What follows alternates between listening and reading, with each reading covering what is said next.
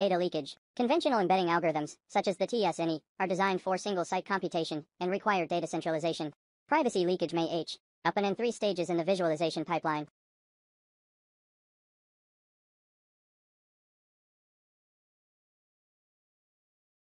What do you believe is the correlation between labor union participation and corporate profits of different companies?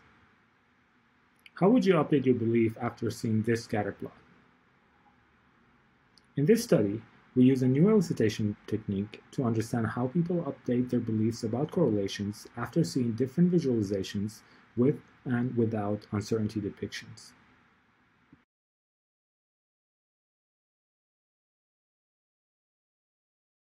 Many techniques can be used to render and visually explore large 3D line sets with transparency. However, all these techniques differ in several aspects such as runtime performance, memory consumption, and image quality. In this work, we provide an extensive comparison study to discuss the advantages and drawbacks of transparency rendering techniques for large line datasets.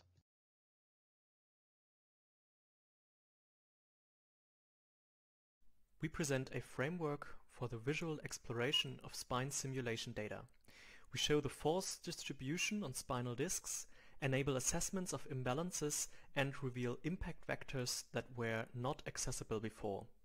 This is a novel direction in medical visualization and we hope that it might bridge the gap between biomechanical research and clinical application.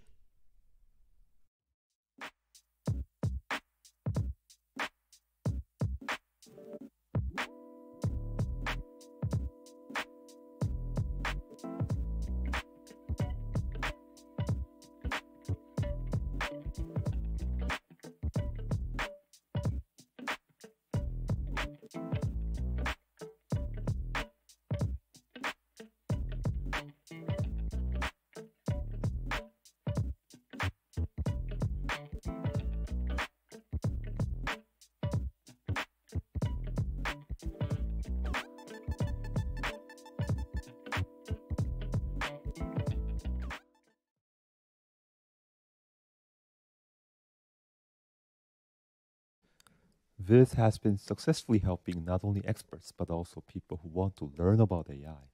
At VAST 2018, we presented GANLab, an interactive tool for learning about a deep learning model called GAN.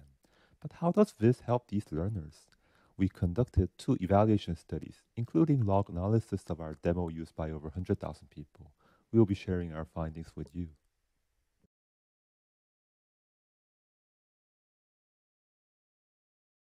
We present AgentViz, an application for the visual analysis of call center agent behavior using hierarchical glyphs. Our application relies on a data-driven scatterplot layout with each glyph representing an individual call center agent. We demonstrate the application with nearly 5 million calls who interact with over 6,500 call center agents. To reduce clutter, we present a dynamic aggregating glyph clustering technique that varies with zoom level, maximizing the screen space.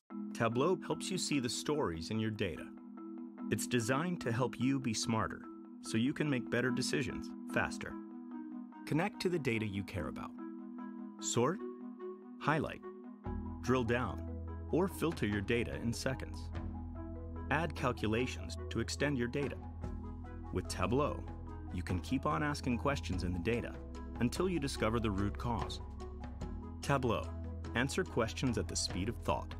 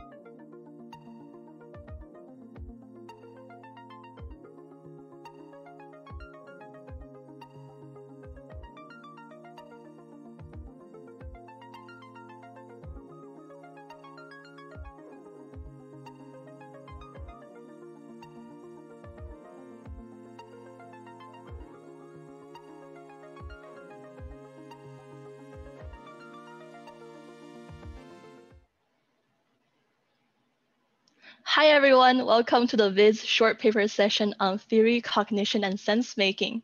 My name is Cindy Xiong, and I will be chairing this session today.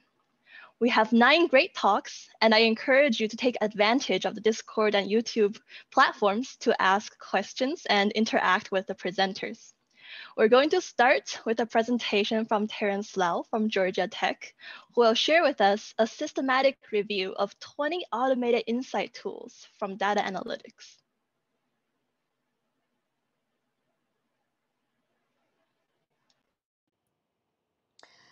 I'm Terrance Law, and I'm a PhD student at Georgia Tech. For this talk, I'll be presenting some of our exciting findings from a review of systems that automatically communicate data insights to users. I want to start my talk with this mind-blowing quote. The purpose of visualization is insight, not pictures. Because providing insight is such an important goal of visual data analysis, Visualization researchers have developed systems that automatically extract and communicate data insights to blow users' mind. So um, this is quick insights in Power BI. When you load your data into the tool, it automatically generates a page of statistical facts about your data set. And there are many systems that have a very similar nature. All these systems aim to automatically communicate data insights by recommending potentially interesting visualizations or by generating textual descriptions of statistical facts in a, in a data set. This fascinating space of tools raises many interesting questions. For example, quite a number of them use the term insights to describe what they do, but we all know that insight is an overloaded term, and so it is not clear what they mean by insight. We also observed that uh, these tools are designed for many different purposes. Many of them are designed for data exploration, but more recent tools aim to facilitate communication and some other purposes. So we were interested in learning more about the types of insights these tools provide and the purposes of providing these insights. And um, so we've conducted a systematic literature review to create a framework of types and purposes. Um, so here's some nomenclature before I dive into the paper collection process and our findings. In our paper, we define automatically generated insights uh, or auto insights as data observations created by uh, automation that are presented as charts or textual descriptions. It is a reasonable definition because this definition captures what the developers of these systems mean when they use the term insight. And we call um, these systems that automatically extract and communicate Auto Insights as Auto Insight tools. With these definitions in mind, we collected 12 papers as the seed papers. 10 seed papers come from a um, recent blog post about visualization recommendation systems written by Lee. The other two seed papers um, are two recent publications at VIS about systems that automatically generate textual descriptions of statistical facts. With the 12 seed papers, we iteratively collected papers cited by the seed papers and the papers citing the seed papers. In the end, we collected 20 papers that describe some auto insight tools. Uh, and with these 20 auto insight tools, we coded the types of auto insights they provide and the purposes of providing auto insights. And um, so here are our findings. From the set of papers we reviewed, we identified 12 types of auto insights and four purposes of providing these insights. So this bar chart shows the frequency of occurrence for each type of auto insights. The most common type of auto insights is outliers. Uh, it can be outliers in a numerical variable, in two numerical variables, or in a time series. Uh, the View Space Explorer is an example. It recommends outliers in two numerical variables. And um, what it does is it enables users to rank the scatter plots based on whether there are some outlying points in the scatter plots. Uh, for the sake of time, I wouldn't go over the other types, and I encourage you to read the paper for the details. And so here's uh, another bar chart for the purposes of providing auto insights we can see that the most commonly cited purpose is exploratory analysis. The developers of many of these auto-insight tools claim that during data exploration, there are many charts users need to explore, and by enumerating the charts, assigning a score to the charts and ranking them, users can review fewer charts. The ViewSpace Explorer is again a good example if you have n attributes, uh, there are n times n minus 1 divided by 2 scatter plots you can explore during exploratory analysis.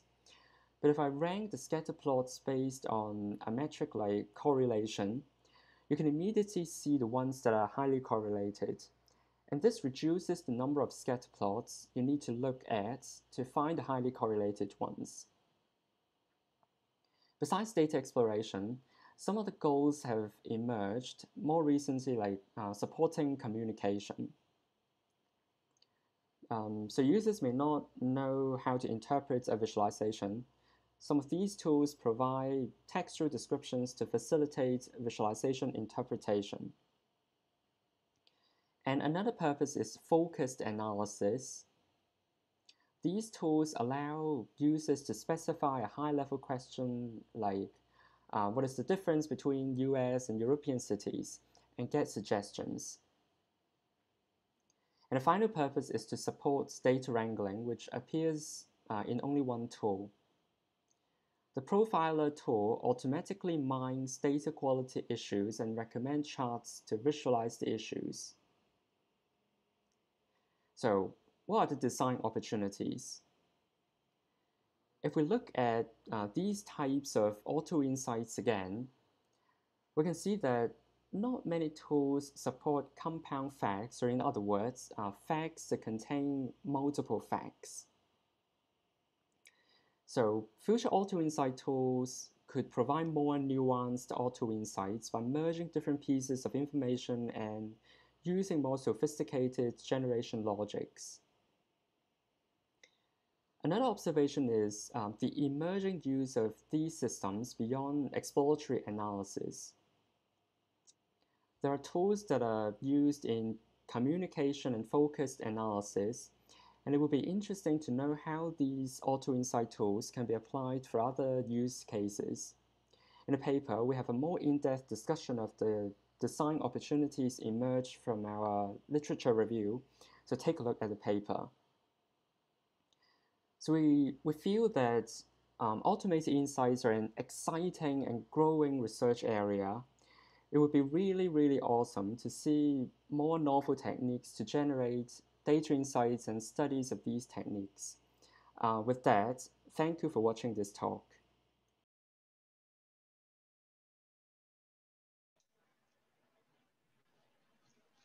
Thank you, Terrance, for the presentation, we have some really great questions in the Discord channel.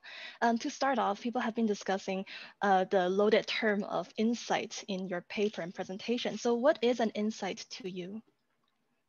Yeah, I, um, I, I, think it's a very complicated, um, you know, question.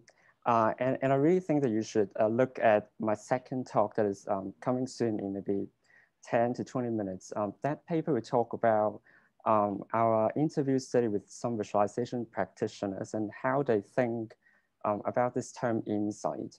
Um, and to me, I, I think um, th th there's a, uh, actually lots of different aspects uh, when people talk about this idea of insights, right? So one aspect is um, definitely uh, the, the statistical information that you're able to get uh, out of um, visualization. And I think th there can also be some other aspects like uh, whether you're able to trust that information that you get out of a visualization um, and uh, whether that piece of information is relevant to you or not. So uh, I, to me, to us, I, I think using this term of auto insights actually, um, you know, open up this space of um, very exciting research about like uh, when, when, we generate these statistical facts, um, are we able to, you know, how, how do we uh, help people to trust that information? And, you know, when we um, try to generate these um, statistical facts or, you know, auto insights, uh, is it possible to make those uh, pieces of information more relevant to the context of our data analysis? So I think, yeah, I'm, I'm looking at the chat and I, I think those are really, really great questions. Uh, yeah, that, that's my response. I see. And really quickly, could you comment on the potential distinction between findings and observations, as well as auto insights and human insights?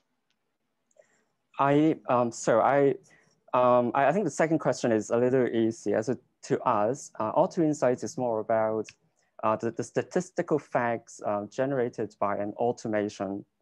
And um, in, in, order to really try to provide insights to users, you, you, need to think about lots of different aspects like trust, like um, some of the things uh, that I've just mentioned, like whether those information is relevant to users or not.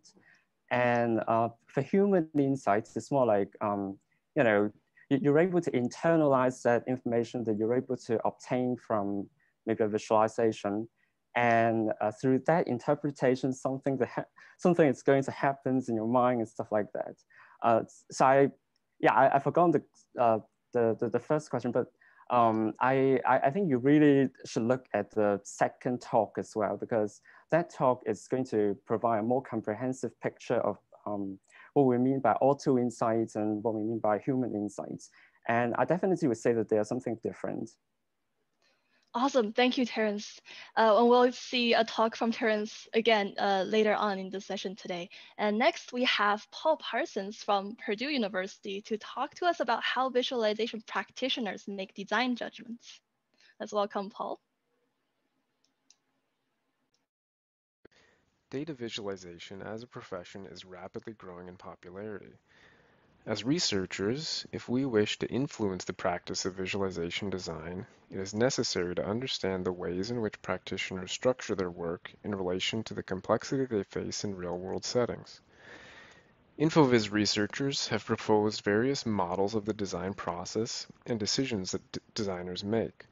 While these models have been influential in the research community, it is unclear how well they characterize and support design practice, especially in non-research settings where practitioners may ground their work and process in less theoretical and more pragmatic ways.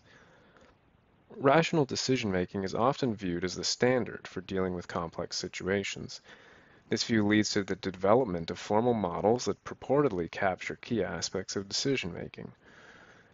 However, empirical investigations into how people make decisions in complex settings involving uncertainty suggest that people rarely use rational decision-making strategies, instead relying on their previous patterns of experience to make judgments. These judgments tend to look much more like intuition than rational choices. In this work, we use the concept of design judgment to investigate how designers engage in decision-making in the complexity of real-world practice. As part of a broader effort to understand DataViz design practice, we conducted semi-structured interviews with 10 DataViz practitioners. We selected one portion of the interview to analyze, accounting for roughly 15 of the total 60 minutes. Recruiting was done via social media, the Data Visualization Society Slack workspace, the InfoVis email list, and also directly contacting more than 200 individual practitioners and more than 30 visualization design agencies. Interviews were conducted remotely via video conferencing and were recorded and transcribed. The section of our interviews that we focused on asked participants about their typical design process at a high level, and how they assessed their progress, including determining if they were on the right track and making decisions about what to do next in their process. Depending on the answers given, We asked a number of follow-up questions about their process and decision-making. The transcripts were deductively coded using Nelson and Stolterman's framework on design judgment. We operationalize the judgment types based on prior work done by one of the authors in another design context, and use these types as a priori codes in our top-down thematic analysis. The table here lists the types used and their definitions. All judgment types were coded non-exclusively by two or more of the researchers on the team, with the goal of reaching consensus and full agreement. We present our findings from two perspectives. First, we present how judgments emerged in the conversations with our participants, specifically highlighting instances where one type of judgment was foregrounded and others had influence in the background. Second, we describe how these judgment types are complex and layered, with multiple judgment types emerging together. It's worth noting that although, although there are eight judgment types, I present only three of them here for the sake of time. The first judgment type is a framing judgment, where designers identify salient elements, often through the introduction of explicit or decisive constraints. For P7, a framing judgment helped them focus on the client goal and the desired outcome. And they say, so the first thing that I need to have clear once I know that I want to accept the project is what is the goal for the client? So what is the main thing that the visualization should do? Be able to kind of say that in one or two sentences. What should the people learn? And then having a feeling of the data, what variables are in there? The second judgment type is an appreciative judgment, where designers assign importance to some things and not to others, without relying on an explicit hierarchy. Here's an example from P1 where they assign importance to what about the data they want to communicate, saying, there's obviously some seasonal variation. The way it's portrayed now, you can't tell what the seasonal variation is. So I was thinking, okay, do we want to communicate seasonal variation? And if so, let me think about breaking it out this way. Do we want to communicate an overall decline? And if so, let me break it out this way instead. The third judgment type is an instrumental judgment, where designers select or reflect on the influence of tools in their process. While there were a substantial number of examples of specific tools that are commonly used in data viz work, some of the more nuanced examples pointed out the limitations and strengths of various tools and how they might relate to one another. For example, P8 assessed the visual versus more data-focused elements of different tools, saying, in Illustrator, it's all about how does this look. If I'm an illustrator, I'm not going to worry about getting everything data accurate. But if it's a complex visualization or it would just be too hard to execute in Illustrator and I go to code first, I literally might write the code to generate the visualization in D3, and in D3 I can export an SVG file, bring that back into Illustrator to then design it up. Our second finding is that judgments don't happen as individual discrete acts. They typically occur in complex, layered ways, where one judgment is foregrounded and others still have influence in the background. Our thematic analysis regularly resulted in multiple codes being applied to statements in an overlapping manner. Here's an example where we see P9 uh, engaging in multiple overlapping judgments as a means of confronting the complexity of the design situation. There are framing and appreciative judgments to set the initial design space and potential outputs connective and instrumental judgments about the tools being used and the ways in which they are connected while moving towards an outcome, navigational judgments that help deal with the complexity of the data in context, and quality and appearance judgments relating to the creativity and craft of making a point and creating something unique. This complex layering demonstrates how situated personal judgments are a means of moving through complexity towards a design outcome. Takeaways of this work include knowing that practitioners continuously rely on situated judgments in a layered and complex fashion. This is true across all aspects of their process. Practitioners did not describe their decision making in a rational way that aligns well with extant decision making models. And we suggest that the Viz literature needs to expand to include more knowledge types beyond just abstract models ones that are better able to characterize the situated and personal nature of design practice, especially if we're to adequately understand and influence design practice. Our work contributes a new conceptual language and theoretical framing for studying visualization design, particularly in terms of design practice and the ways in which designers face complexity and move through their design process. This contribution can also be valuable for practitioners, as surfacing this way of knowing can help them become aware of their own judgment making and identify means to improve it. Our work has implications for data viz pedagogy, as an appreciation of the personal and situated nature of design is critical for preparing designers to face the complexities of real-world practice. Future scholarship on data viz pedagogy and practice would benefit from focusing attention beyond formal objective knowledge and logical processes of decision making, allowing access to the rich nature of design expertise and the ways in which this expertise is developed over time. Thanks for listening.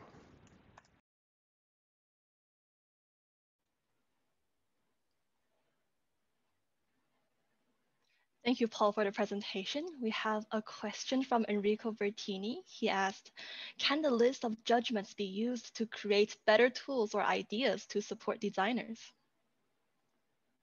Um, yeah, thanks for the question. Um, uh, I'm a bit skeptical about how directly it will influence uh, tool creation, uh, although I'm sure there are some indirect um, uh, things that we can learn from from our from our participants in terms of what what they prefer to do with tools. I think um, it can definitely influence how designers are trained and how they think that they should be designing, um, especially in relation to expectations about how rational or uh, logical their process should be. Uh, and so that's not directly a, as a result of using the tool, but I think that's a sort of self-reflective um, aspect of, of the design process. Awesome. Thank you, Paul. We'll get to hear more from Paul later this session. There's a couple questions lingering in Discord, and um, Paul, I encourage you to interact with everyone on the channel as well. Um, so next we have Terrance Law with us once again to talk to us about how some of his interviews with practitioners investigating what data insights are to professional visualization users. Welcome, Terrance.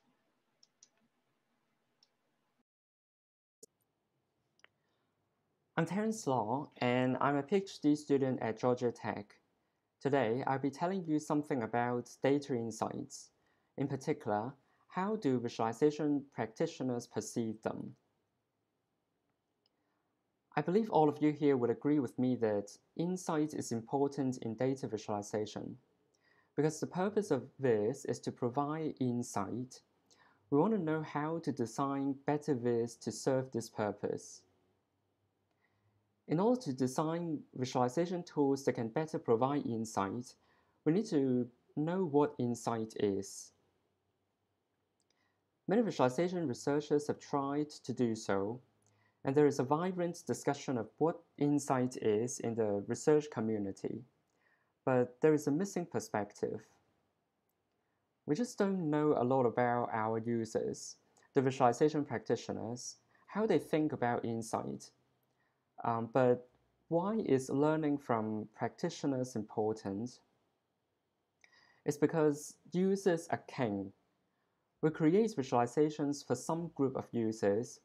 We cannot develop visualization systems for users based only on the speculation in the research community about what users think insight is. Another reason for learning from practitioners is that we've seen many systems that aim to automatically communicate data insights to users so um, this is a functionality called Quick Insights in Power BI. When you load your data set, it automatically generates some facts about your data set. For a car data set, it may say something like horsepower and weight are correlated.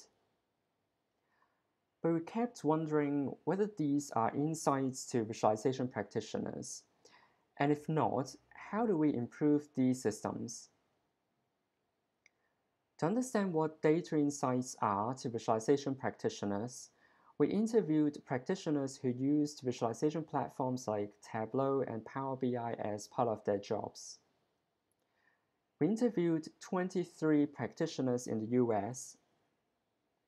They worked in 12 job sectors like consulting, retail, research, and education. Had between 2 to 20 years of experience with visualization platforms so we talked about all sorts of different topics during the interviews. But for the scope of this paper, we focus only on these practitioners' experiences with data insights. During the interviews, we asked them to describe a finding from their data they considered to be insightful and the characteristics of the finding that made it insightful. So, what are data insights to these users we identified seven characteristics from the data insights they described. The majority said that data insights had to be in, uh, actionable. These insights should help understand what actions to take in their organizations. That makes sense because for most of the time, we do data analysis not for curiosity, not as a hobby, we do it usually because we want to make some decisions and need data to inform the decisions. Some participants also talks about the collaborative aspects of data insights. When participants found something interesting from data, they may need to confirm the findings with the subject matter experts to understand if the insights were relevant. And many of them also described scenarios where they had an expectation about what they would see from the data, but they saw something that deviated from the expectation. So many of them felt that data insights can be unexpected at times. And in contrast, some participants said that insights were findings that were consistent with some existing beliefs. Or in other words, data insights can be confirmatory. There are some other characteristics that um, I will not go into detail for the sake of time. Participants also felt that data insights were trustworthy.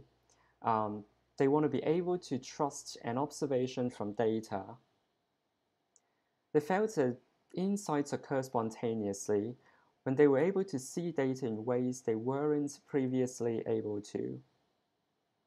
And finally, data insights were interconnecting.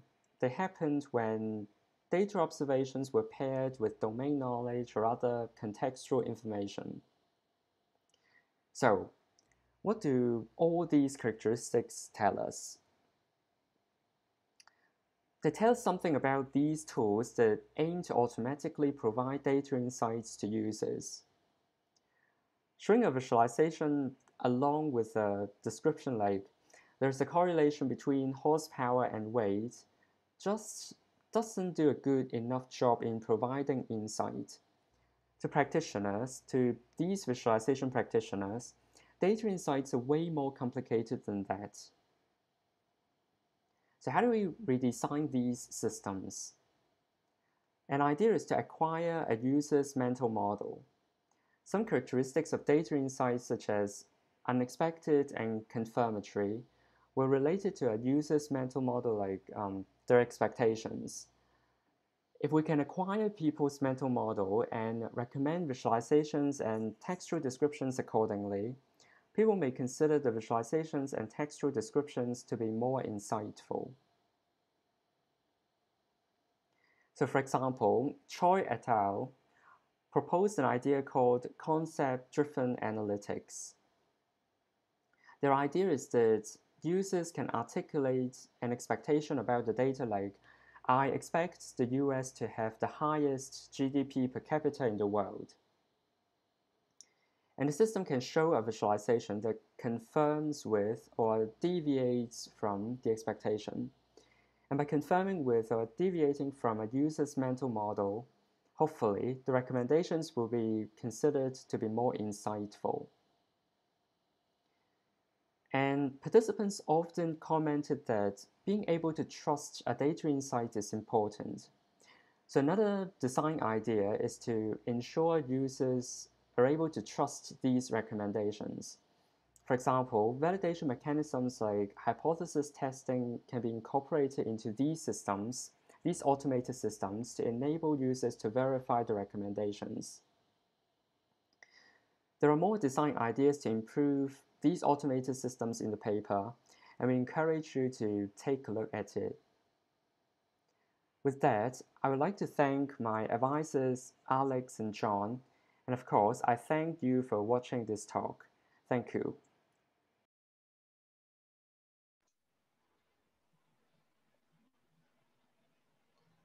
Thank you for the presentation. We have some really great questions in the chat. Alex Kale asks, uh, what do you mean by actionable insights? Does an insight that encourages the stakeholders to do nothing count as actionable in this framework? And are designers comfortable finding and communicating this kind of insights particularly? Um, let, let me answer the first question. Um, I, I, think if, uh, so after looking at a piece of information and you're able to draw uh, some conclusions that it's probably not worthwhile doing something, I, I think it's still an actionable insight because um, at, at, least to me, not doing something is still an action. I'm not sure about how the people think about it, but I, I think it's actually an action. Um, and for the second question, can, can you repeat that again? Yeah, are, do you think designers would be comfortable finding and communicating insights that encourage people to do nothing? Uh, I, I'm actually not sure um, I, you know, I, I, I think it depends on what you mean by uh, doing nothing, right? I, so if in a presentation, I'm able to show you some evidence that uh, doing nothing is actually something good to do, then I don't see how it is different from when you're trying to present some findings that tell people to do something. So um, yeah, that, that's my response to that hopefully I, I've answered your question. Yeah, there's a couple more questions from Tianyi Li and Xiaoying Pu in the chat. Make sure to get to them if possible. Yeah, and sure. next we have Mandy Keck from University of Technology in Dresden, Germany, to talk to us about how we can help students find or create the right visualization solutions. Let's welcome Mandy. Hello, I'm Mandy Keck from the University of Technology in Dresden, and I want to talk today about our didactic methodology for crafting information visualizations. Our approach can assist students and anyone interested in crafting, ranking, and improving novel visualization solutions. Our proposed didactic methodology consists of three main steps which follow divergent and convergent strategies. It starts with a morphological analysis step, then second a selection and fusion step, and at the end an improvement step. In the following I will describe these steps in detail. As input for our methodology, we provide a data and task description and a construction kit for visual exploration interfaces. This construction kit was introduced in our previous work and provides a theoretical framework for deconstructing and also designing novel visualization. I will use a recently published visualization technique called parallel hierarchies as an example to explain the structure of the construction kit. Parallel hierarchies are an interactive visualization solution for numerical aggregates over hierarchical categories and are shown in this picture. As you can see in the right column, parallel hierarchies can be described by the fusion of two visualization techniques, icicle plots and parallel sets. These two patterns on the right side define a construction plan that can be used to describe a visualization and also represent the highest level of the construction kit. A construction plan consists of patterns, here the icicle plot and parallel sets pattern, and different connectors that can be used to combine these patterns. These connectors are successive to show patterns successively, juxtaposed to show patterns next to each other, superimposed to show patterns combined in one view, and nested to show one pattern embedded in another one. This example uses the superimposed connector that merges two patterns in one view. Each of these patterns follow the what, why, how approach, which describes the underlying data structure and type. In this example, the patterns are suited for hierarchical and multidimensional data structures. Then second, the task to be solved with this pattern. In this example, both patterns are suited for analysis tasks. And last but not least, the visual representation and interaction techniques that describe how the interface is designed using a set of building blocks. The building blocks represent the smallest unit of the construction kit. The collection of building blocks are designed at a comparable abstraction level and together define a design space for a specific problem domain. Our design space includes different dimensions, visual elements, grid, layout structure, and interaction to describe a visualization from different perspectives. As an example, I use the parallel set pattern. The visualization technique can be described by combining the building blocks flow as visual element, a rectangular grid building block, a parallel plot layout structure, and the interaction building blocks highlight and inspect. After the description of the construction kit, I would now like to explain the single steps of our methodology. The first step starts with a morphological analysis with the given building blocks. A morphological analysis is a creativity technique that helps to explore a wide range of possible solutions. During the first iteration, a worksheet with a combination table is provided that is shown in this example. The worksheet contains the visual element and selected layout structure building blocks. After a discussion of these results, the morphological analysis is repeated with the grid dimension. Often, not all combinations result in functional visualization ideas. The goal of this sketching task is to systematically explore the design space in order to generate and test unusual combinations. After a second round of discussion, the final selected solutions will be transferred to patterns. For this step, pattern templates and building block stickers are provided, as shown in these examples, and the students assign suitable tasks, data structures, and a sketch to, to each template. The second step focuses on selecting the best options out of the created patterns and to merge them to more complex solutions. For this step, the educator provides a ranked list of relevant visual encodings to the students, that is shown in the left column of this table. Then the students are asked to find the visual encodings used in the design of each pattern, which is shown here with six pattern examples. After the ranking step, a fusion step is pursued. The ranked patterns are collected and sorted on a whiteboard, as shown here in the left picture, and then the students try to combine different patterns to cover more complex data and task types. The fusion step is supported by blank sheets for sketching, pattern templates, and stickers, as you can see in the right picture. For the last step, the improvement phase, we follow the Gestalt principles of perception as one of the fundamental works to explain cognitive processes to the students. In this step, the students are asked to improve the solutions in order to steer the user's attention towards the important parts of the visualization. These examples show how different Gestalt principles are applied to parallel hierarchies in order to improve the visualization concept. Our methodology has been tested in three different teaching scenarios an information visualization course during winter semester 2019. The pictures show examples of the worksheets, pattern templates, and building block stickers. And um, two visualization courses in summer semester 2020. Due to the worldwide pandemic, the last two courses had to be held in an online environment. We used the online collaboration tool Miro and recreated the workshop materials with the Miro boards.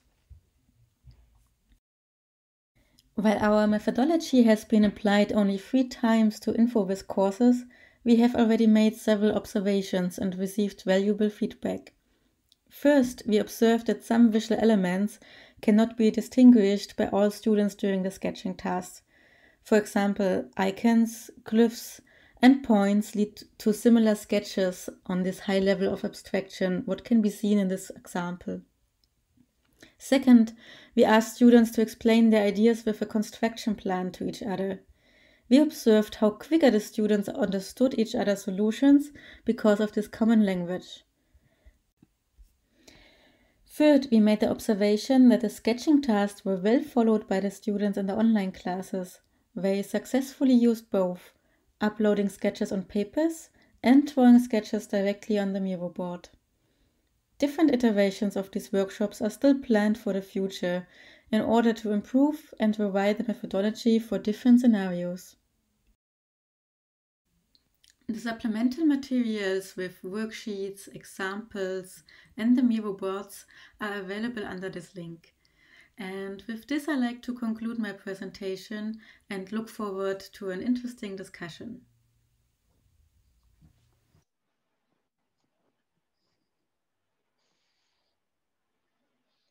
Thank you, Mandy, for the presentation. We have a couple questions uh, for you. So how do students sketch their solutions? Um, Enrico Bertini has shared that he always finds some resistance in sketching by hand from his students. They would rather use a digital tool or even code directly. So did you experience something similar?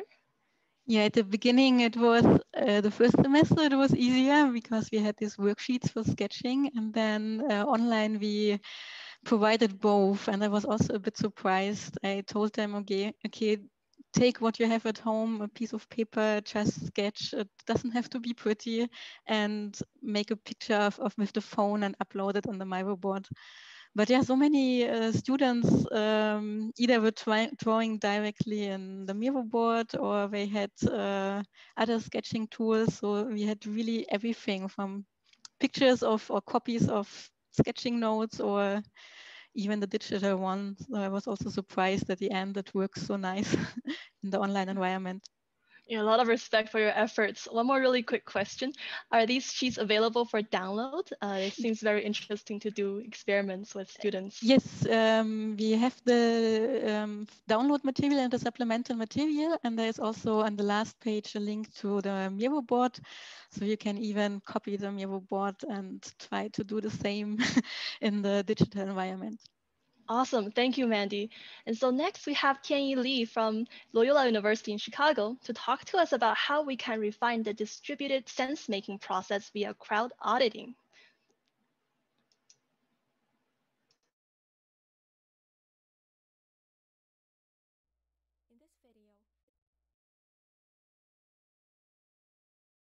Hi, my name is Tianyi Li. In this video, I'm excited to share with you our work CrowdTrace Visualizing Provenance in Distributed Sensemaking. This work is done in collaboration with Yasmine Belghith, Dr. Chris North, and Dr. Kurt Luther. This presentation will include introduction and motivation, followed by a system demo, evaluation and results, and finally some reflections and future work.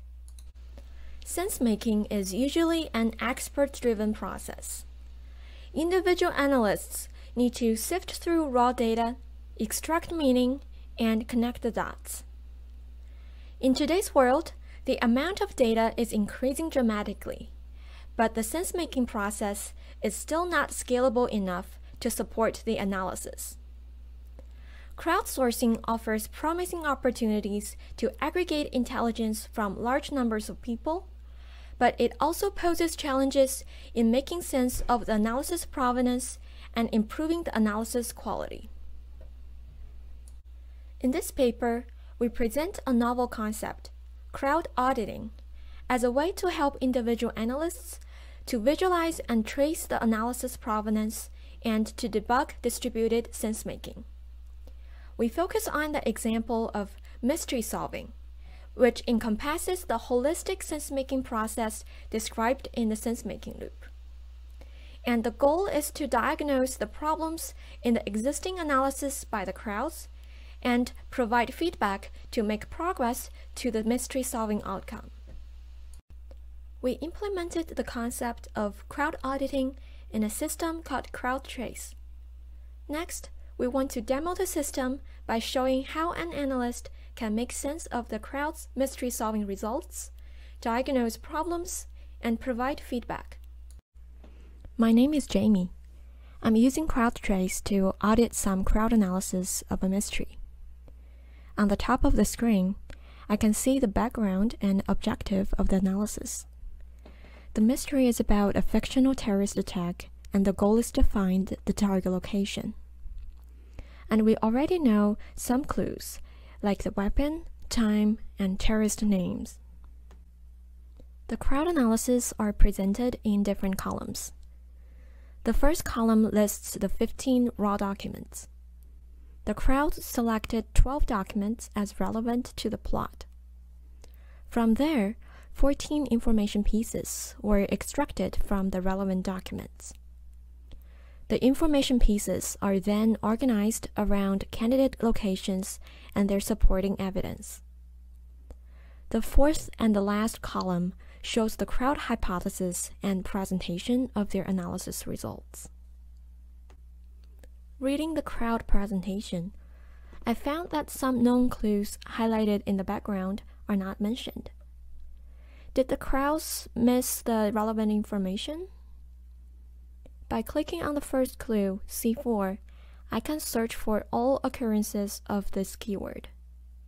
Okay, document 13 had some information about C4 and one of the terrorists. What information was extracted from document 13? why C4 was not included. I see there are three downstream information pieces from document 13. Let me lock this flow and look at those info pieces. The info pieces were extracted by crowd workers who had access to documents 13, 23, and 30. It looks like the crowds overlooked this part of document 13 about C4. This seems to be a problem. Let me highlight this part and leave an annotation about it.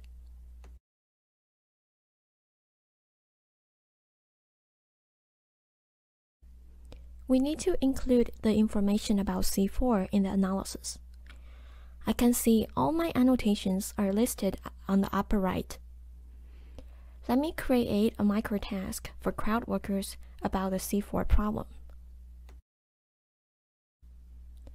I can see a simulated preview of the microtask interface. There are already instructions about the background in the microtask. I can see that my annotation comments are already imported in the problem description. To fix this problem, the crowds need to read the document 13 and extract all relevant information about C4.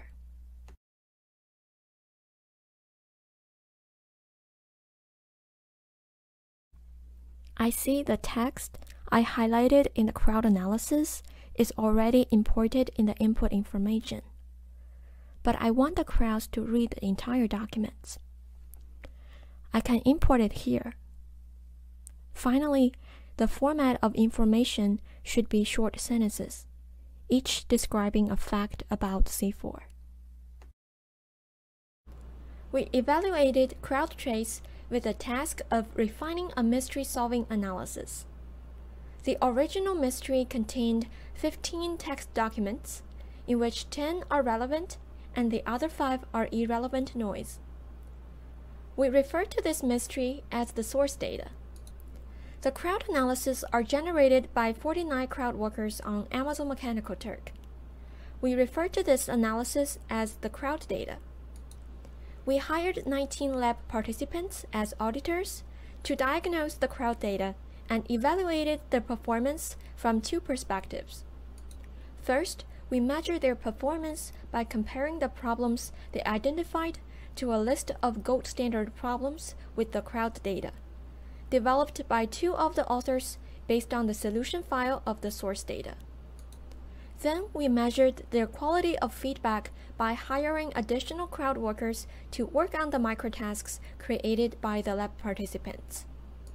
The participants created an average of 14 annotations, and most of the annotations were devoted to describe the important problems with the crowd data. Meanwhile, all the important problems were identified by at least one participant.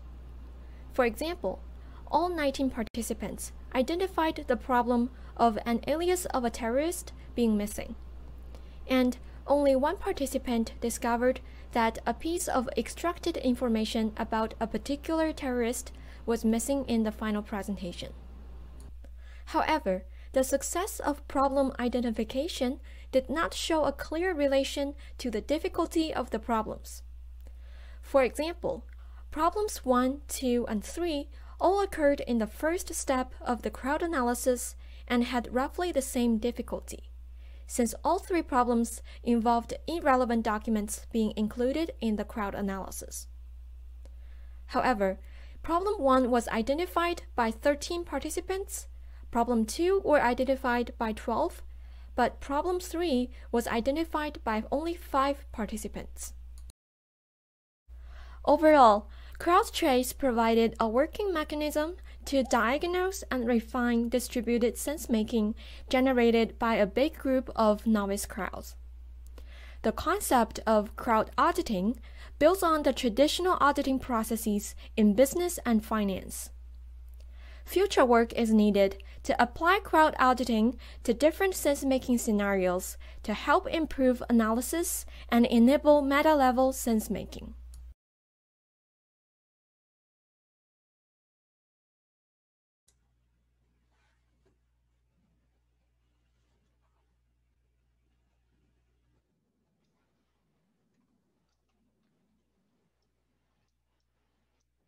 Thank you, Tianyi, for your presentation. We have a couple questions for you in the chat. So from Alex in Georgia Tech, did you observe biases in the analysis process, such as confirmation bias or maybe the anchoring bias, as mentioned by Michael Correll, or did the disjoint crowd aspect mitigate this bias in some way? I'm not sure if this is referring to the auditing process or the original process where we ask crowd workers to generate the analysis. But in general, people, uh, when, uh, when we uh, generate the analysis with crowds, the crowds has uh, limited access to the previous uh, results.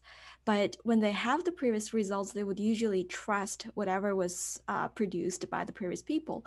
And also in the crowd auditing process, it took some effort, both in our uh, like study instruction and the tool design to indicate to the uh, like lab users that the crowd might make, mistakes and they should like look at the analysis with a critical mind. Uh, so, but on the other hand, with this um, distributed view and this um, like crowd auditing tool, we see that the confirmation bias is, is less than when we observe when we uh, ask individuals to, to conduct entire uh, analysis. Very cool. And really quickly, this is from Derya Akbaba. What was the motivation for using this scenario in your study? Um, so I think I clarified the motivation of using mystery solving in the uh, presentation, and that is essentially uh, because we in, this include uh, information foraging and synthesizing, uh, and is a good representation of uh, sense making process in general. Uh, like the motivation for using crowdsourcing is we see this great potential of this distributed crowd intelligence in solving complex problems, but usually the mixed quality results requires a lot of effort on either researchers or experts to curate and clean up their their uh, analysis outcome. And we want to be able to iteratively refine those um, like a premature analysis so that the crowd can be uh, like used to solve uh, more complex problems with, with less burden on the experts. Awesome, thank you, Tianyi. And next we have Melanie Bancilhon from Washington University in St. Louis to talk to us about how visualizations can elicit different decisions. Let's welcome Melanie. Hi everyone, my name is Melanie Bancilhon, and today I'll be talking about how visualizations can elicit different decisions in a risk prone lottery game. First, a little background. Researchers in various fields have used different methods to evaluate how visualization impacts risk perception and decision making. In the medical field, people have used hypothetical scenarios to measure how visualization impacts risk behavior. For example, in the study by Galesic et al., participants were asked to rate the seriousness of the disease as well as the helpfulness of screening on a Likert scale. In the visualization field, researchers have measured different decisions made from visualizations using simulations. For example, how to best grow and sell crops given weather information, or when to leave your house to catch the bus on time while minimizing waiting time. Although prior work has examined how visualization impacts decision making, a lot still remains unknown.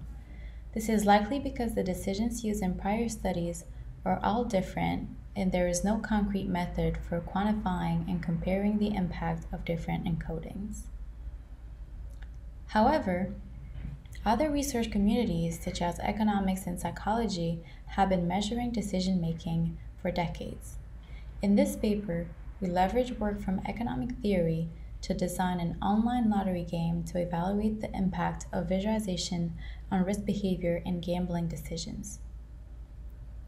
Consider the following question and think of which option you would prefer. Option A 50% chance to win $1,000 or a 50% chance to win nothing. Option B $450 for sure. Now, most people would choose the sure amount, but the rational choice is option A. Let's find out why. One of the dominant theories of decision making expected utility theory has served for many years as an economic behavior model and a model of rational choice. It states that people make choices based on their utility, the psychological values of the outcomes. Option A has a higher expected value and is therefore the best option to maximize potential gains according to EUT. But we know that most people don't choose a rational choice. Prospect theory was introduced as an alternative to explain and model people's biased behavior. It states that people tend to underweight common or high frequency events while overweighting rare or low frequency events. We use economic theory to evaluate the impact of five different visualizations on risk behavior and decision making. Pie and circle charts are common in information graphics and market surveys. The triangle, circle, and bar charts are all used in the medical community. We use a lottery decision sheet where participants chose seven probability values and rewards range from 10 to 150 points. Here's an example of a lottery sheet. People were asked to decide between receiving sure gains and entering the lottery. Here, the participant has a 25% chance to win 20 points and a 75% chance to win nothing. They chose to settle for a minimum of 15 points as a sure gain, then decided to enter the lottery. We run a function that picks a random row on the lottery sheet. If the participant selected sure gains for that row, the corresponding value is added to their bonus, where one point represents $0.001. If the participant chose to enter the lottery for that row, we run a lottery simulation based on the probabilities to determine if the participant wins the full amount or wins nothing. Each participant completed 25 lottery sheets and could win a total bonus of up to about $10. We measure their attitude to risk, ranging from risk averse to risk seeking, using a measure called relative risk premia, or RRP. An RRP of zero represents risk neutrality. Negative RRP values indicate risk seeking behavior, and positive values indicate risk aversion. The certainty equivalent is the value at which the participant chooses to enter the lottery. The expected value, like we saw earlier, is the value at which the gains are maximized. We will now look at the results. Let's look at the first box plot of this series. Here we have the RRP results for the icon group. On the x-axis, we have our probability values, and on the y-axis, the RRP values. Recall that lower values for RRP means risk seeking and higher values for RRP means risk averse. We can see that for the icon array, people were risk seeking for smaller probabilities and risk averse for large probabilities. This is exactly what we expect to see as it is in line with prospect theory. Looking at the other conditions, we observe a similar pattern. Now, when comparing RRPs across conditions, we can see that icon arrays have a median RRP of 0, representing risk neutrality. The circle and triangle conditions appear to incite the most risk-seeking behavior. We run separate Wilcoxon Mann-Whitney tests across all pairs of visualizations for all probability values to check our preliminary findings. The results partially confirm that icon arrays led to more risk-averse behavior compared to the text condition. We found that risk behavior for participants in the circle and triangle groups deviated significantly from the non-group overall, providing evidence that participants who saw the triangle design were the most likely to gamble, followed by the circle design. Notice that the bar condition shows no significant difference to the text condition across all probability values. Let's summarize our findings. We found that visualization impacts decision making. Economic theory is a sound method for quantifying and evaluating decision making with visualization. Circle and triangle designs elicit risk seeking behavior. People are most risk neutral with icon arrays. Finally, across all probability values, there was no significant difference between the bar and the text condition. So, which visualization is best, icon or bar? On the one hand, according to economic theory, the best decision is the one that maximizes expected utility, the risk neutral decision. On the other hand, we have seen that in real life, people don't make decisions rationally. Our control condition, text, represents expected behavior. It is important to have a better understanding of how people make different types of decisions. Opening the discussion to what constitutes sound decision making will allow us to better understand how visualization impacts decisions.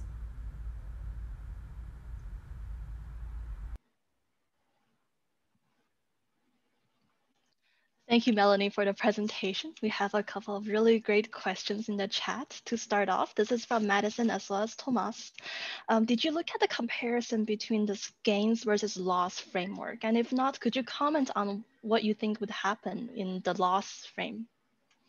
That's a great question. Um, so I did not look at the loss domain for this experiment, um, but that's definitely um, an interesting future um, study to conduct. Uh, we found that, I mean, it's known that um, people hate losing more than they like winning. So we see a, a different pattern in the loss domain, and I definitely think it would be an inter interesting study. Um, I would think that we would see a similar um, distortion with the visualizations. I mean, I say distortions, but um, um, diversion from risk neutrality in the loss domain proportional to um, the patterns that we see in economic theory. Um, yes, but that would definitely be an interesting study to conduct. Awesome. To quickly follow up, um, Karen Schloss was asking, were there perceptual estimates of area the, the, the same across the different visualizations that you used? Yes, it was the same across the, the different visualizations. And do you have any hypothesis why you observed um, the difference you did? Um, I think um, the differences, and we've shown that they lie in the perceptual process. So really do the graphical perception. Awesome. Unfortunately, we are out of time, so uh, Melanie will be around in the Discord channel to answer other questions. Uh, next, we have Thomas Alves from the University of Lisbon to talk to us about how personality affects preferences in visualization use. Let's welcome Thomas. Hello, my name is Tomás from INESC-ID Instituto Superior Técnico, and our work is titled Exploring How Personality Models Information Visualization Preferences. Usually products are developed for a general audience, which assumes that everyone interacts the same way with technology. This may lead to an interface that does not satisfy their needs, it is too difficult to understand, or just that it has a bad look and feel, for example. The truth is that we are not the same user, and there are individual characteristics that make each user have different requirements Considering these individual characteristics helps users to predict what will happen, interactions are easy to remember, and reduces their cognitive load. There are some invariant characteristics that distinguish one person from another, which are believed to be stable throughout adulthood. While cognitive abilities refer to mental capabilities in problem solving and reasoning, personality traits are the individual differences in thinking and behaving characteristics. We focus our study on the personality construct, which is defined as a set of habitual behaviors, cognitions, and emotional patterns that influence the construction of a mental model. It has shown to have an impact on technology acceptance and technology use. Among the different models that characterize personality, there are two that are well researched. The first one is the five factor model. It divides personality into five main traits, and each of these traits in six subdimensions called facets.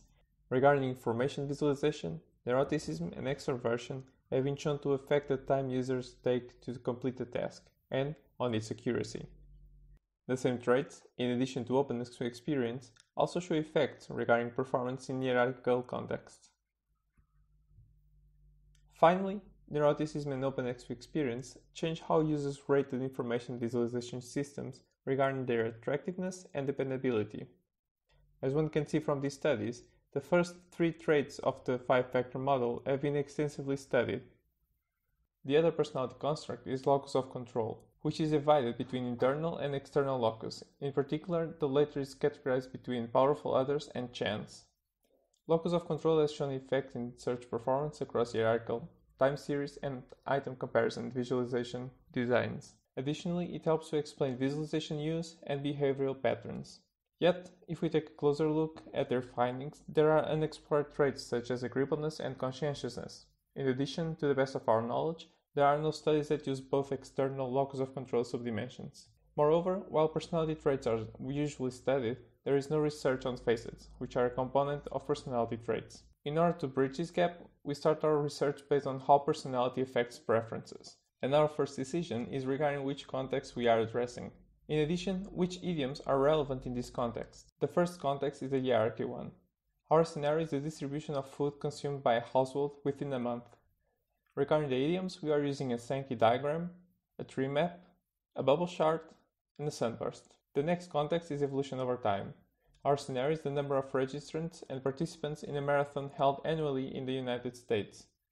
We are considering an area chart, a line chart without points, and a line chart with points. Finally, the last context is the comparison one. Here we show the levels of happiness index among six different countries. We consider a word cloud, a pie chart, an horizontal bar chart, a radar chart, and a vertical bar chart. We ran a user test with 64 participants, where we collected for each one of them 38 personality variables and their preference regarding the 12 idioms. User preference was assessed with a 7-point Likert scale. We decided to study the relationship between personality and user preference with two approaches. The first one is through correlation. Through Spearman's correlation method, we found interesting results, although our bonferroni leads us to reject them. Indeed, our results suggest that personality effects may be on both trait and facet levels. The remaining results also suggest a correlation with personality variables, including the trait of agreeableness and the external subdimensions of the locus of control. The other approach is through clustering algorithms. Our first step is to find how many clusters our dataset should have in the end. In order to do it, we ran hierarchical density-based clustering. That gave us three clusters as an output. We then used the k-means clustering algorithm to group our participants. Afterwards, we checked whether the personality clusters were different from the others. We found that all personality variables, with the exception of openness to experience and agreeableness, were significantly different between clusters. Cluster 1 as people with high levels of conscientiousness and internal locus of control. In addition, people have the lowest values of neuroticism and the external dimensions. In contrast, Cluster 2 has people with the lowest values for conscientiousness and the highest values of extroversion and agreeableness. Finally, Cluster 3 has the participants with the highest levels on neuroticism and on both the external dimensions.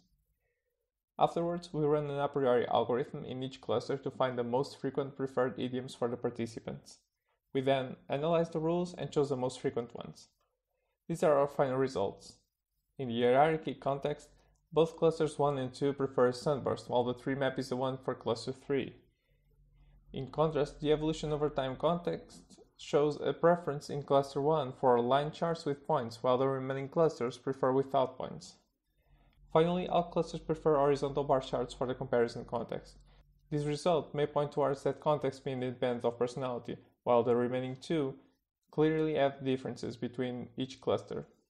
In light of this, our results suggest that personality is a differentiating factor when it comes to designing information visualization systems.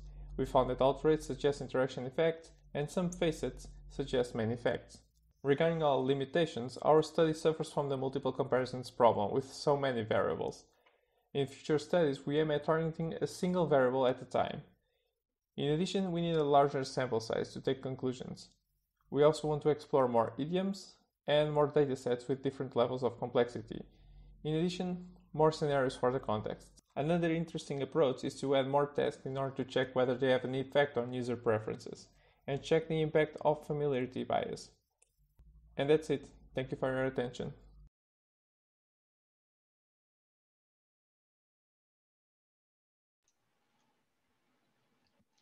Thank you, Thomas, for your presentation. We have a couple of questions from the chat. Um, Marti Hearst asked, um, their existing research has found that some people don't like data charts at all and they prefer text or language.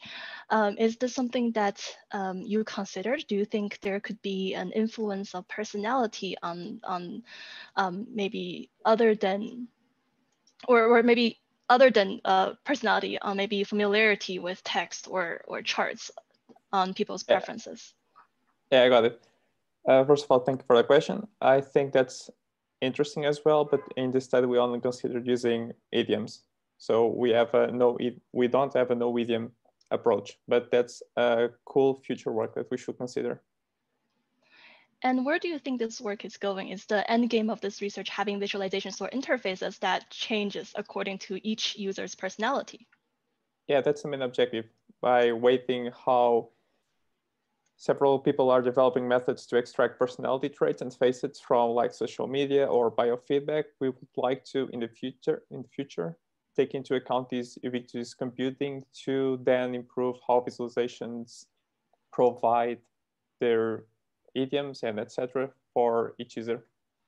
Awesome. And really quickly, uh, could you comment on how you think cultural uh, influences could play a role in personality and their ch chart type preferences? Oh, I believe that I mean, just take into account between East and West, like if people read from right to left and other people read from left to right, you can already see that there's some differences. So we would like to see whether culture imposes personality or whether you can take them independently.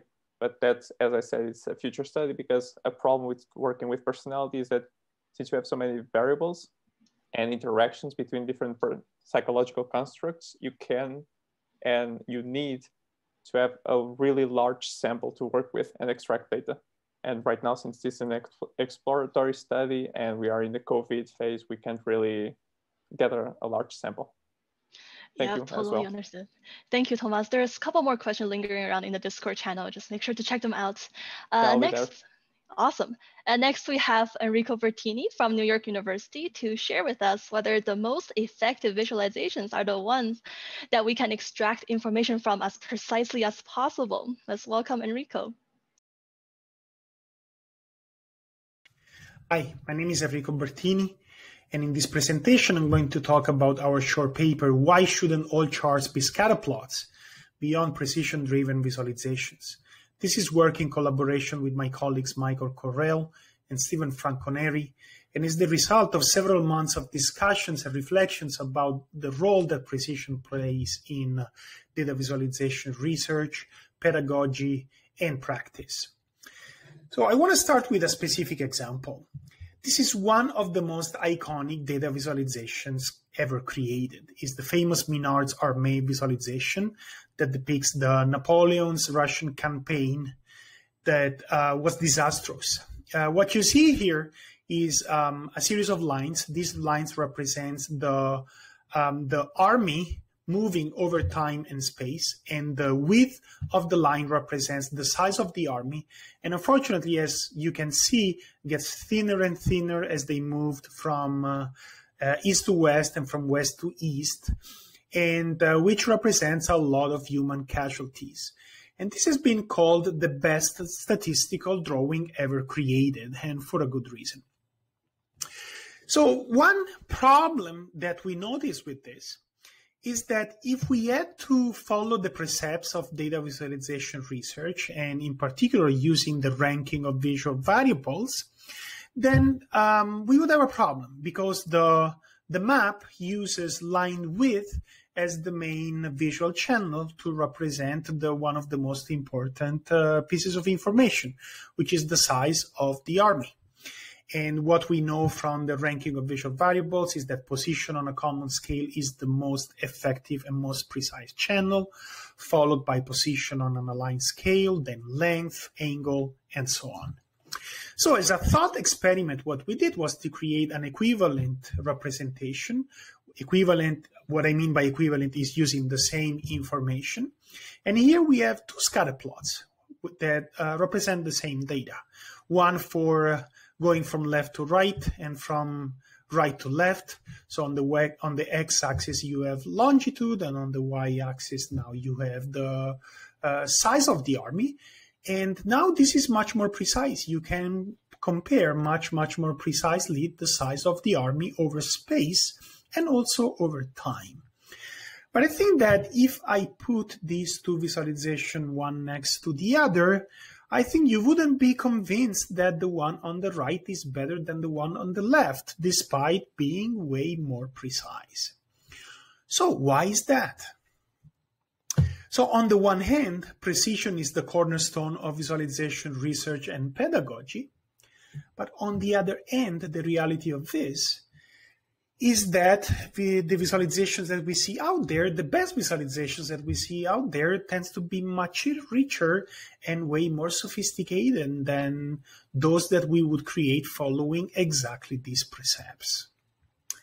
So here are uh, some examples of recent visualizations created by some of the best data visualization designers out there, and they don't necessarily follow these precepts.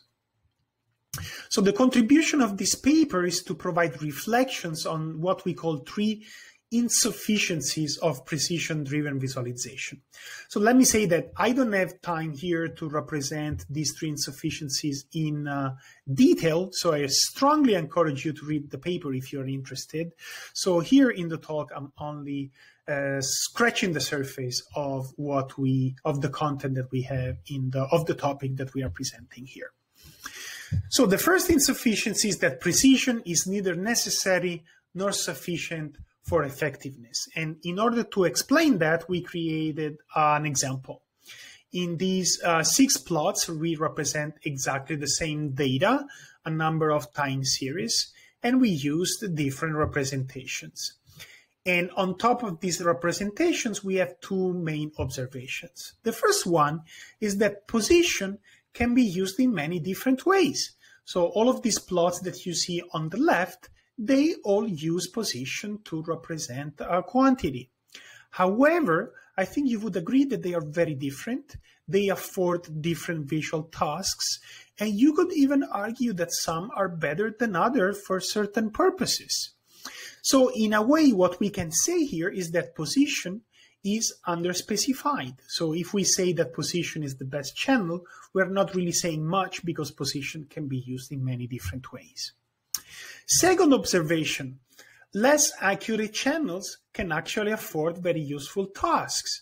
So for instance, if you look at the plot at the bottom right, this is a heat map. And here we use the intensity of the color to represent the value. And color intensity is supposed to be the worst visual channel one can use to represent quantitative information. But I guess you would agree that you see a lot of interesting patterns. And it's definitely not bad as an overview of this data. And I guess it would eh, it would become even better, better, and more effective if we were tasked with the problem of visualizing a larger number of time series because it would scale better than the ones that you see on the left. So, second, its efficiency. Precision is not sufficient for comprehension and interpretation. And I guess you would agree that comprehension and interpretation are very important factors for data visualization. So here I want to present the results coming from a very interesting study presented in 1999 by Jeff Zacks and Barbara Tversky. So they ran they ran a number of interesting studies showing um, that people interpret data very differently when it is presented with different plots. So in this case, the same information presented as a very simple bar chart or with a very simple line chart. Both these charts afford very high precision, but the kind of interpretation that people um, extract from these plots are very different. And some of them are even absurd, like this one. The more male a person is, the taller he or she is, which of course doesn't make any sense. Last insufficiency, precision is not sufficient for rhetoric, emotions, persuasion, and memory. And I guess, again, you would agree that all of these factors are very important for data visualization. So here again, I have space only for one example. This comes from the great designer Giorgia Lupi. And this is a project that she created in collaboration with a friend. Unfortunately, for um, somewhat sad case. So this is data collected by Giorgia's friend about a disease that her daughter has.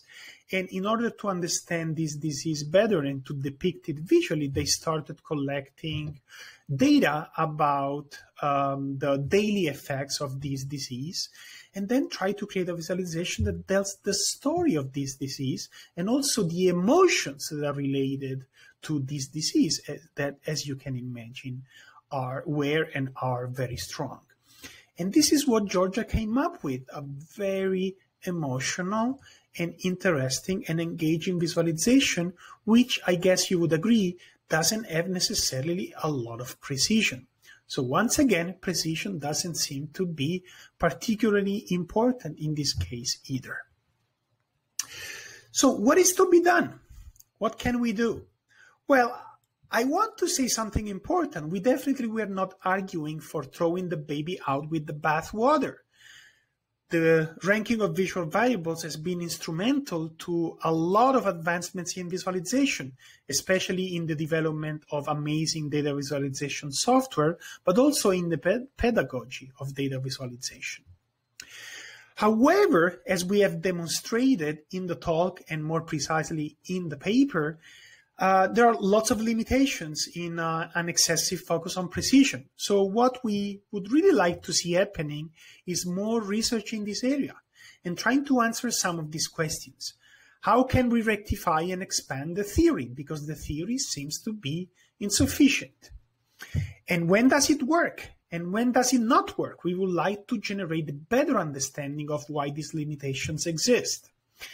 And if these limitations exists, what else can be done? How can we fix it? So there is a lot of work to do, and we really hope that by watching this uh, video and reading our paper, you will be inspired to do more work in this area. With this, I'm concluding my talk. I want to thank you very much for listening to me, and I would be very happy to answer your questions.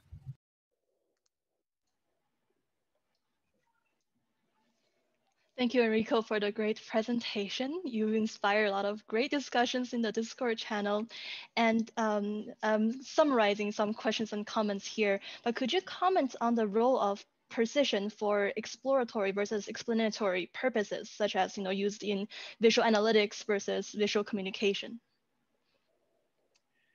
Yeah, I think that um,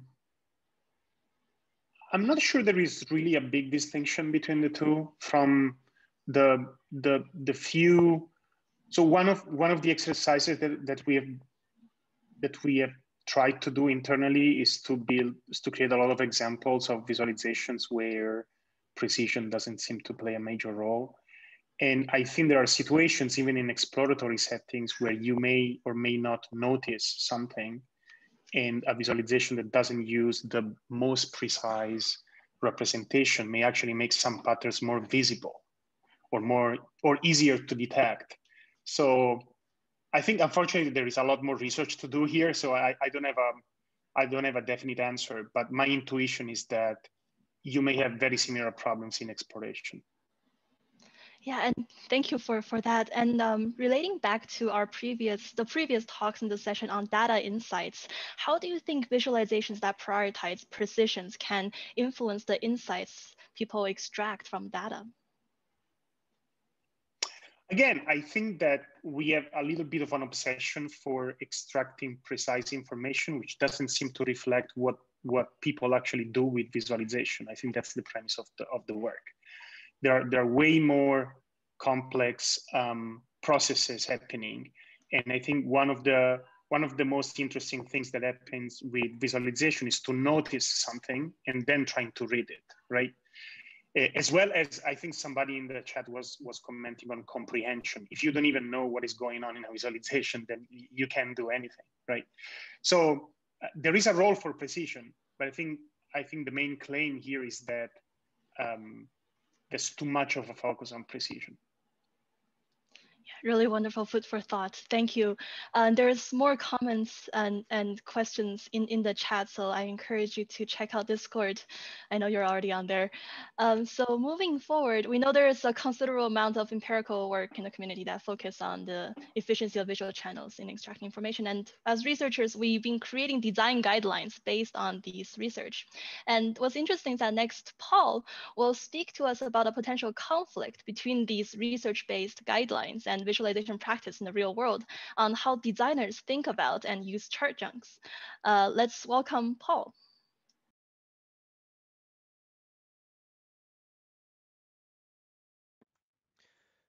Studies have been conducted over the past decade to investigate the effects of visual embellishments on users. Researchers have examined a range of phenomena from traditional performance metrics, such as speed and accuracy, to other metrics such as memorability and engagement. One takeaway from these studies is that a balance between extreme minimalism and embellishment should be sought in a contextually appropriate manner. While this may seem like a straightforward design guideline, there's not been much focus on how designers think about how to use chart junk in their everyday practice. We argue that focusing on the user perspective only provides at best a limited view of how a concept like chart junk might actually be used in real-world design settings.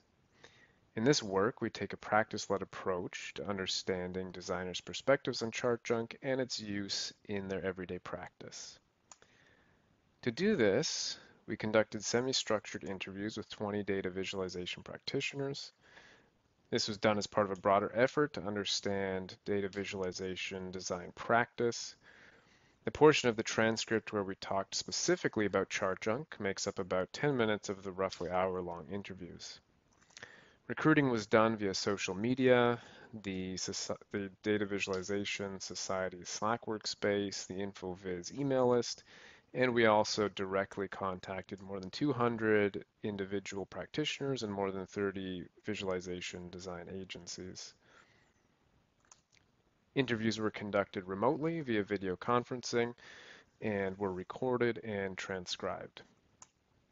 Our interviews focused on four main topics. First, whether participants were familiar with the concept of chart junk or visual embellishment. Second, if and how they relied on it in their design work. Third, whether they had any specific opinions about its use. And fourth, whether they were familiar with the history of the idea and its subsequent discourse in the academic or practitioner spaces. Transcripts were inductively coded by the two researchers following a standard process for thematic analysis. We engaged in multiple rounds of independent coding with regular meetings to establish an agreement on the codes. We subsequently engaged in several rounds of theme development from the codes that we had generated. And our themes are presented here in relation to two main questions about how practitioners understand chart junk and the factors that influence its use in practice we had a number of participants talk about some notion of a corrective movement that had taken place away from extreme minimalism towards some kind of acceptance of embellishment. P18 exemplifies this by saying Tufte was really strong in opposing chart junk. And I think now there's a movement going a, a, little bit in the other direction, saying that, well, adding icons to charts can make things clearer, for example. So yeah, it's a bit like a pendulum, I think. And with Tufte, it went in one direction, and now it's going a little bit back in the other direction. We also noted a number of conceptual and terminological issues, one being that there's little consensus on a definition of chart junk. Uh, P6 says, I do think the definition is, is different. I'm not 100% sure that everyone knows or thinks the same thing when they think of chart junk. We had some people talking about chart junk in reference to animation and interactivity in visualizations. P13, for instance, says, if you move your mouse along the screen and it, I don't know, changes colors or when you click, it radiates, radiates out, maybe it's helpful in relation to discussing chart junk. We also had many participants note the subjective nature of defining chart junk. Uh, P11 says it depends on what you call chart junk. When I look at the New York Times data visualization, I don't think there's really any junk there. They do have things that are sometimes whimsical, or the pudding does this too. It's always motivated. When we look at the factors that influence the use of chart junk, we see that balance and context are indeed important.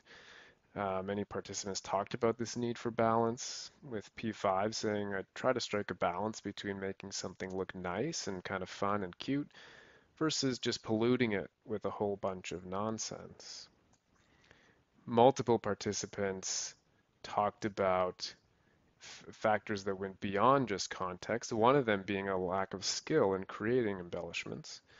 P18 says, maybe I should also mention that I don't know how to draw. I'm just really bad at making things around or outside the pure data visualization things, so I simply cannot produce chart junk, so to speak. I don't know how to draw, so for me it always focuses on the data.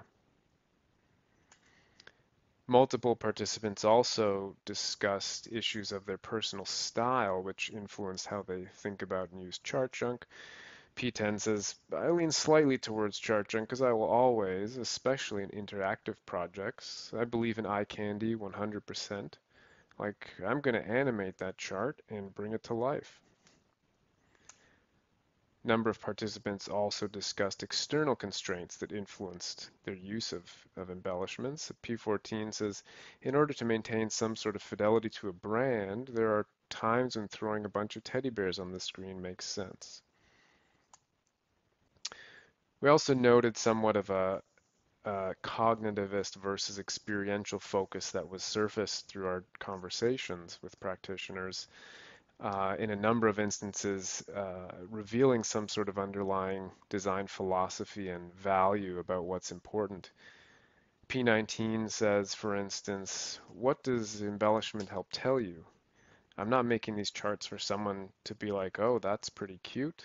No, here's the locations and here's the serious data. I'm not trying to be cutesy. We also had participants stating uh, exemplifying a more experiential focus, stating somewhat of, of the opposite, um, and uh, quotes can be found in the paper. So some takeaways from this work, we see that the use of chart junk um, as a design concept is very much personal and situated. Um, it goes beyond notions of performance or memorability and engagement that, that are very commonly discussed in academic circles. We see other factors such as personal style, external constraints, uh, personal design philosophy influencing how practitioners perceive and use chart junk in their everyday practice. What this says is that as a field, if we really want to influence visualization design practice, we need more practice-led research that considers the unique ways in which designers generate and use knowledge in real-world settings. These are ways that might be quite different from how researchers and scientists do this. We also surface uh, potential opportunities to examine how visualization tools might support the creation of embellishments, uh, which is further discussed in the paper. Thanks for listening.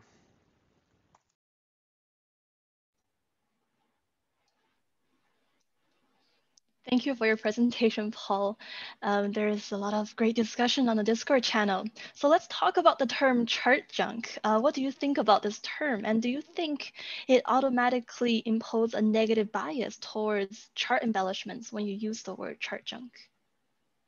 Yeah, I mean, it's explicitly negative.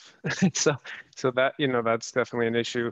Um, uh, it's extremely popular and um, referenced a lot we deliberately uh, used various synonyms in our interviews to try to um, get at this issue of how people perceive chart junk and whether or not the label itself influences how it's used in practice. So uh, yes, it's explicitly negative and, and I see a lot of conversation going on in Discord about how we need to get rid of it, um, which uh, may or may not be possible, I don't know. And this is one of my, my own questions. Did you find any trends or difference between people's attitude towards these chart embellishments depending on the profession that they're in or the purpose of their visualizations?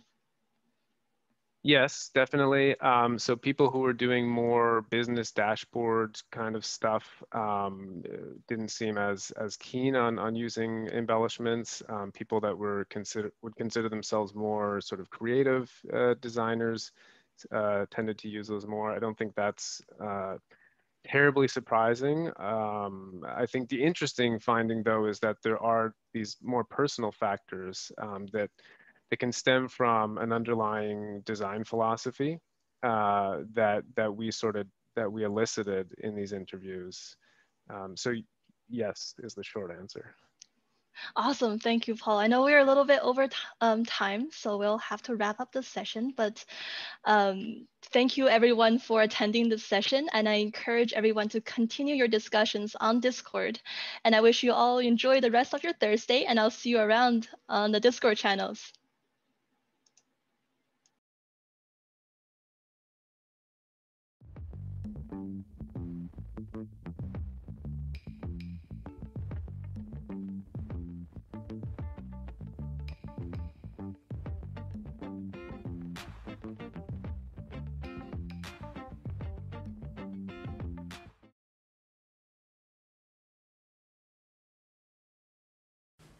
We present a high-quality tube rendering method for 3D line datasets. GPU-based raycasting is used to render line segments as rounded cones, to allow for smooth connections along individual lines and variation in radius. We support transparency by a novel approach combining visibility order rendering with an order-independent transparency method. To improve depth and feature perception, ambient occlusion is employed.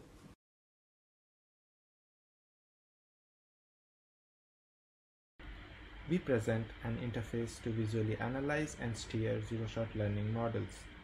Our interface is designed to diagnose attribute mispredictions to convey potential failure modes in zero-shot learning. Using our interface, the user can select multiple categories for analysis. We allow the user to steer the model by changing the weights of potentially problematic attributes based on their analysis.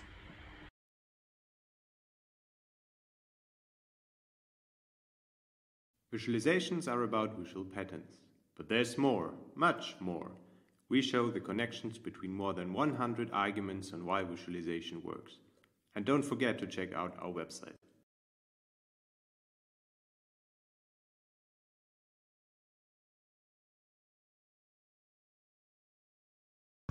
Blockchain has gained more attention and its applications are emerging.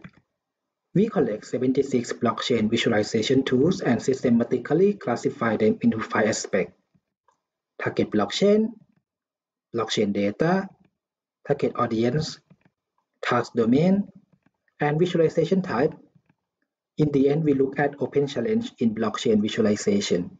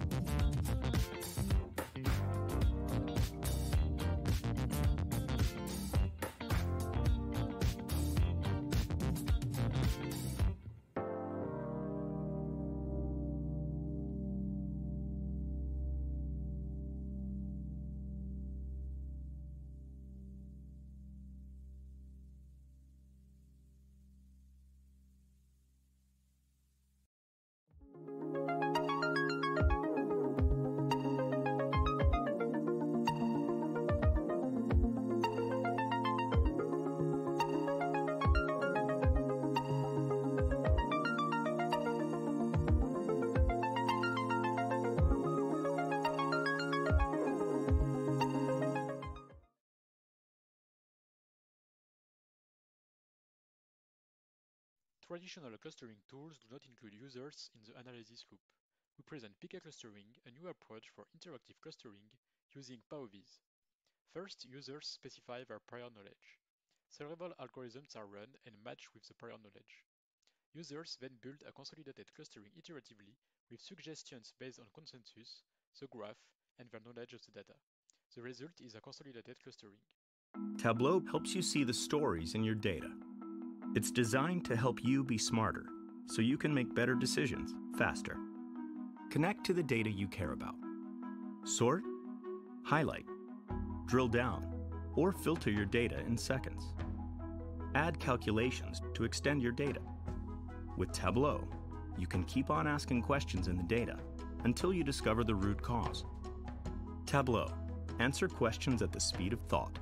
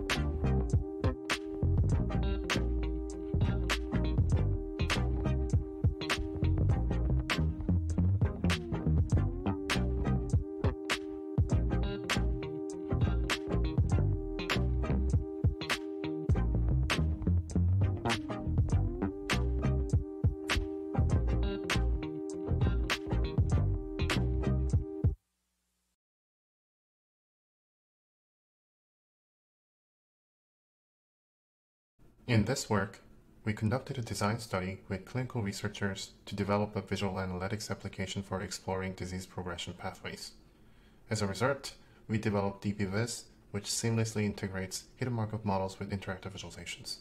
The usage scenario and user experiences demonstrate the usefulness of the application to gain useful insights out of disease progression trajectories in a transparent manner.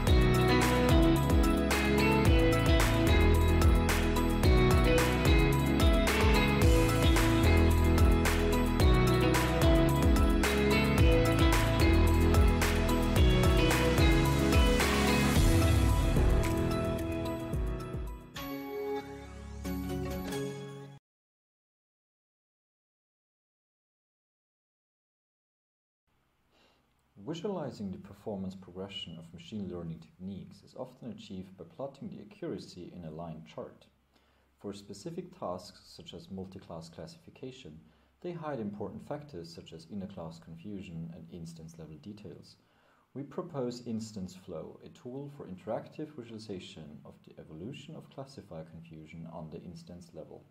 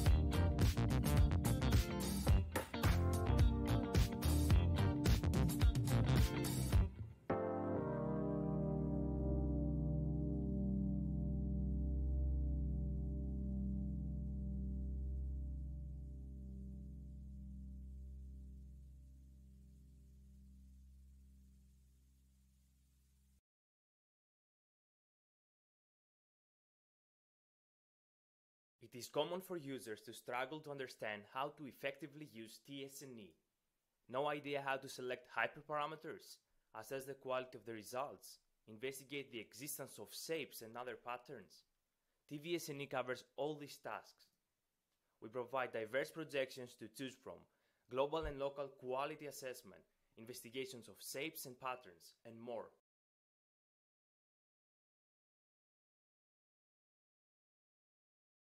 Do you have a research question but aren't sure how to go about answering it? Are you interested in collaborating with psychologists but want to learn more about how they do research? Our paper presents a comprehensive toolkit of empirical methods organized across four categories to help you think about presenting visualizations as experimental stimuli in order to explore and measure how people perceive data. Check out our paper.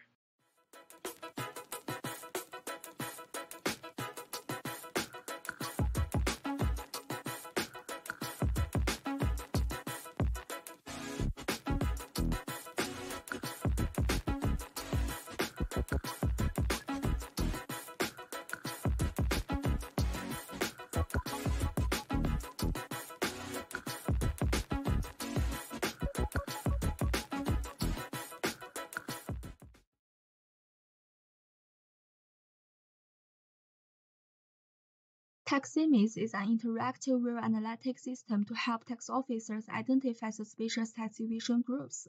The system integrates the traditional data mining algorithm and visual analytics techniques. Four coordinate views are provided to support interactive exploration of tax evasion evidence. We demonstrate its usefulness through case studies using real-world test data and expert interviews.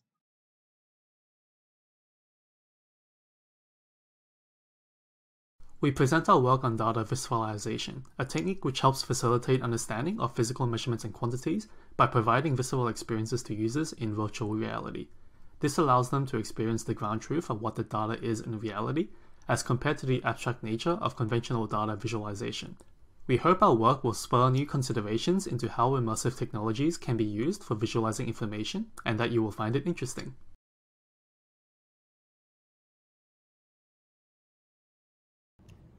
Language models are highly performant across many language understanding tasks. Comprehending the linguistic knowledge encoded by these models, however, remains a challenging problem. We introduced an approach for visually analyzing contextualized embeddings produced by language models.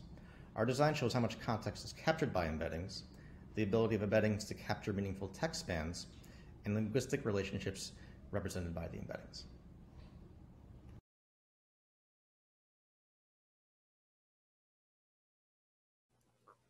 Being able to perform visual analysis on sensitive data in a privacy-preserving way has become more and more important. In this work, we look at two major research questions in differentially private data visualization towards better understanding of the relationship between the privacy parameter, visualization type, the analytic tasks, and user's performance through cross-source user study and simulated comparisons.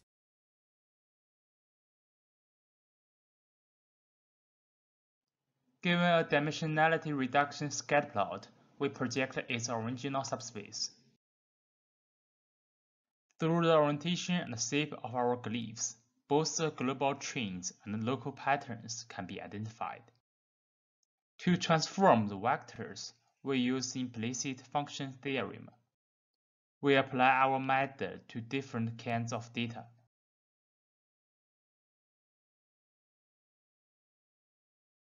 We present columnar data augmentation through visual analytics.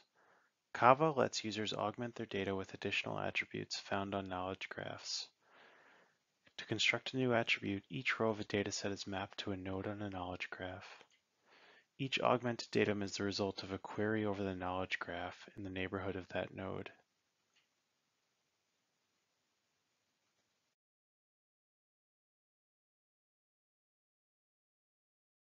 We propose a multi-perspective simultaneous embedding MPSE algorithm for visualizing high-dimensional data based on multiple pairwise distances between the data points. MPSE computes positions for the points in 3D and provides different views into the data by means of 2D projections that preserve each of the given distance matrices. MPSE works on abstract data as well as graphs.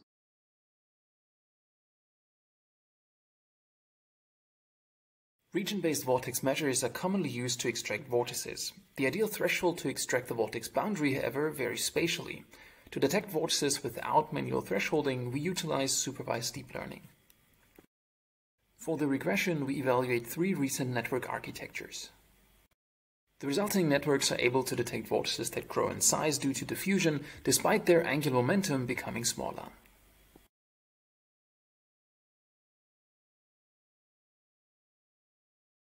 Firstly, we extract contours of virions and distribution of spike proteins.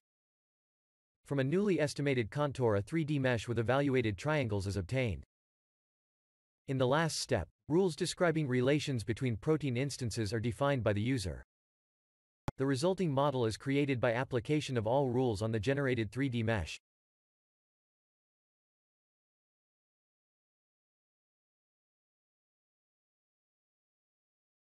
Many sampling strategies pay little attention to the preservation of significant contextual structures. In its paper, we propose a context-aware graph sampling method in a vectorized space to preserve not only contextual structures but also significant topological features. Welcome to pay attention to our paper. Its ID is 1259.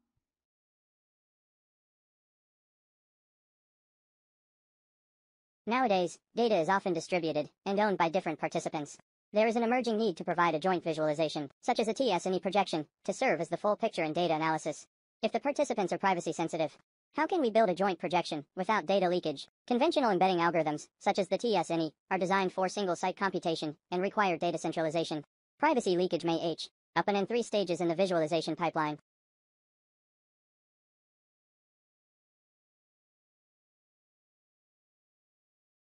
What do you believe is the correlation between labor union participation and corporate profits of different companies? How would you update your belief after seeing this scatter plot? In this study, we use a new elicitation technique to understand how people update their beliefs about correlations after seeing different visualizations with and without uncertainty depictions.